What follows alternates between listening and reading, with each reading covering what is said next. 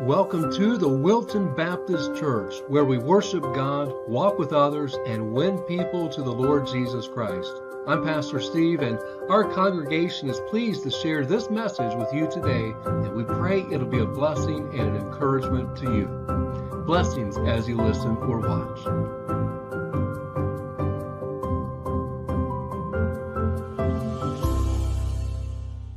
We're in the book of Jeremiah. So Jeremiah chapter 4 on in your Bible or on a device you may have, Jeremiah chapter 4.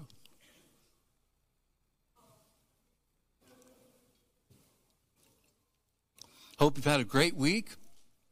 We had a good baseball game yesterday for our son's ball team, and their playoffs start this week. So that's an exciting time. Plus, the winding down of school. I know everybody's busy, but you can finish well. And I hope that you'll do that. Jeremiah chapter 4. Any task that we do as Christians really should be conducted with wholeheartedness, wholehearted devotion. And uh, we don't want to have a half hearted effort. Half hearted is not good.